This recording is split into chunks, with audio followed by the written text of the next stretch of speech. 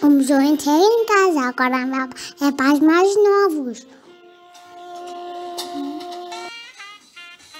Os desenhos estão em casa. Maria Helena conheceu Arpado quando estudava em Paris. Foi amor à primeira vista. Casaram-se e viveram juntos 55 anos de aventuras. Ao longo desta vida a dois, Maria Helena Vieira da Silva desenhou e pintou Arpado Zenes na intimidade.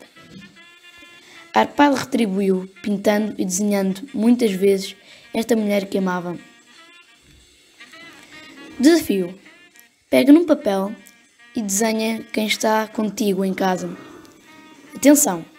O maior desafio deste desafio é incluir no desenho muitos detalhes, tanto das pessoas como do espaço onde estão. Os materiais necessários são papel disponível, mas evita gastar papel higiênico nisto. Para desenhar, podes usar o que tiveres aí em casa. Podem ser lápis de carvão, lápis de cores ou canetas. Desenhar é preciso. Até uma esferográfica serve. Vamos começar? Partida, lagarta, fugida!